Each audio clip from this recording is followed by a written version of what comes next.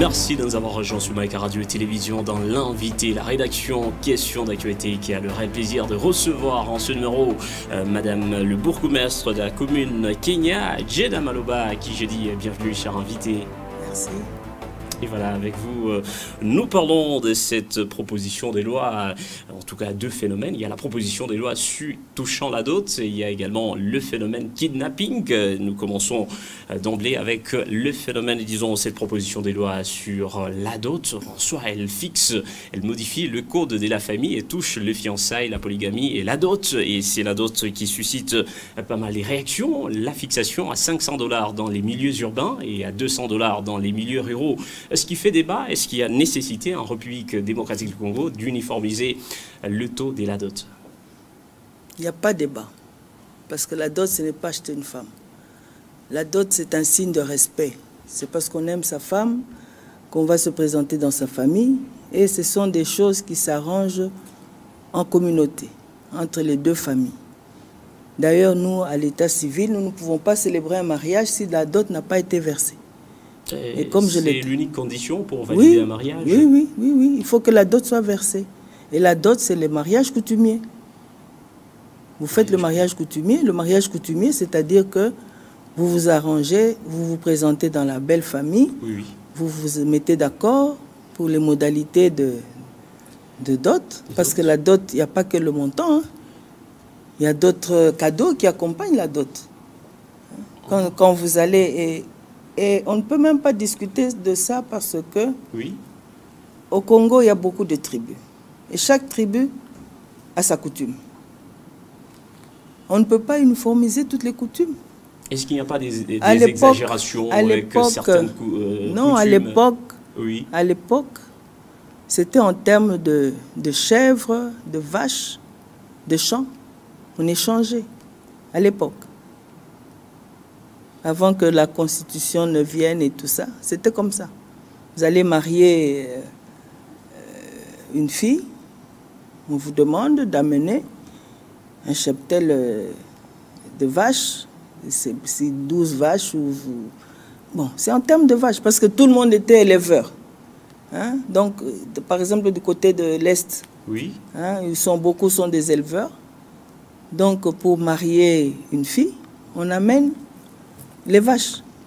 Et ce- cette fixation à 500 dollars telle que le proposent les députés 500 dollars, nationales, déjà, c'est une euh, entorse. Parce que nous, nous sommes problème. au Congo Oui. et nous ne pouvons pas euh, fixer un taux en, en dollars. On n'est pas aux euh, États-Unis. Il y a un problème déjà? Oui, il y a déjà un problème.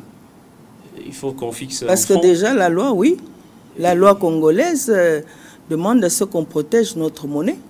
Et la monnaie, c'est le franc congolais. On ne peut pas fixer une dot en, en dollars. D'ailleurs, quand nous célébrons les mariages, nous convertissons les, les montants en francs congolais. C'est pour éviter le problème de. non, c'est pour respecter de- la constitution. la Constitution. Oui, oui, pour respecter la Et constitution. si on fixait euh, en francs congolais, il n'y a pas aussi des catégories. euh, On ne peut pas fixer parce que ça, c'est un arrangement entre familles. On ne peut pas fixer, c'est un arrangement entre familles. Et puis, ce n'est pas obligatoire de se marier. Pas Chacun, c'est pas obligatoire. On se marie par amour, je suppose. Et si vous aimez quelqu'un, que vous voulez faire respecter cette personne, vous allez vous présenter dans sa famille. Et il y aura des négociations, vous allez vous arranger pour donner quelque chose. Et puis, la dot, ce n'est pas un montant qu'on qu'on exige euh, la totalité. On dit toujours, par exemple, nous en Swahili, que Kuboko ni kuyalala. Donc vous devez avancer quelque chose, vous montrez votre bonne foi. Oui, oui. Et après, vous allez continuer à donner jusqu'à ce que vous aurez terminé votre dot.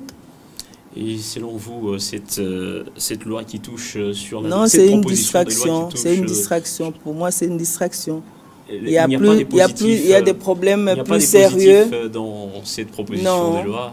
Non, parce que maintenant, euh, vous savez, quand on verse la dot, Oui. parce que c'est dans nos milieux maintenant qu'on commence à voir que les montants, on met à 1000 dollars, à 2000 dollars et tout ça.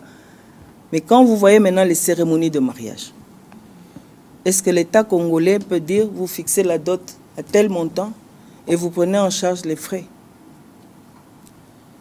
des cérémonies C'est une question que vous posez, alors vous proposez quoi à la place C'est ça.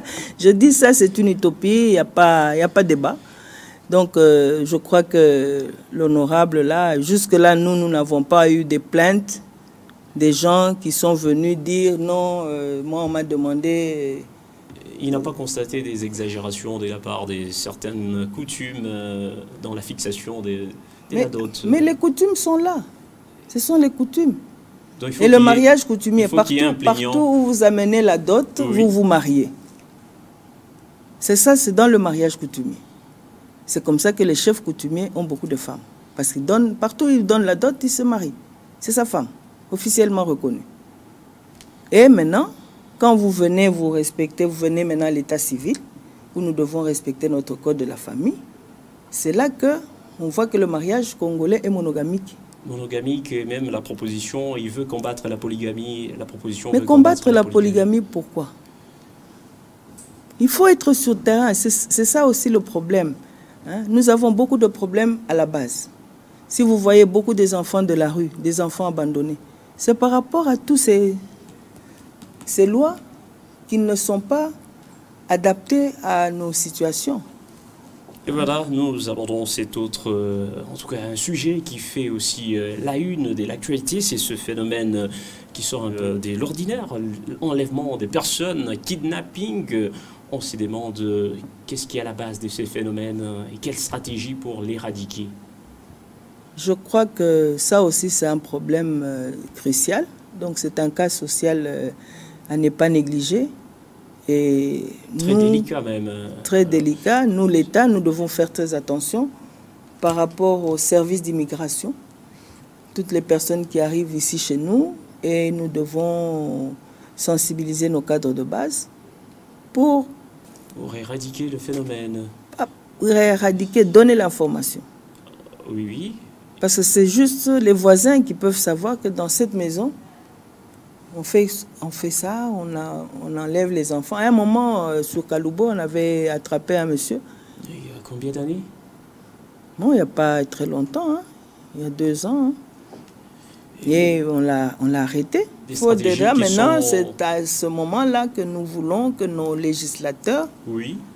fassent tout pour protéger l'emploi des nationaux, protéger, créer l'emploi pour tous ces gens qui viennent euh, en nombre, euh, on ne sait même pas les identifier et bon, on ne sait pas gérer. Hein.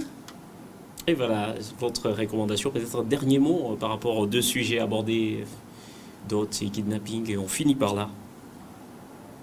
Pour la dot, je crois que ce n'est pas, ce n'est pas très important. Parce que les mariages s'arrangent en famille. Et si un mari n'est pas capable de donner déjà un minimum pour, pour, pour sa femme, donc il ne saura même pas nourrir sa femme jusqu'à la fin de ses jours. On est d'accord. On est d'accord, euh, Madame Jenna Maloba. Je rappelle, vous êtes euh, Madame le bourgmestre de la commune de la Kenya. C'était un honneur de vous avoir sur ce plateau des questions d'actualité. Merci, c'est moi qui vous remercie. Et merci, euh, merci également. Et on va continuer à être vigilant pour éradiquer le phénomène kidnapping. Ça, c'est très important. Être vigilant pour éradiquer le phénomène kidnapping, c'est votre dernier mot. Encore une fois, merci. C'est moi qui vous remercie.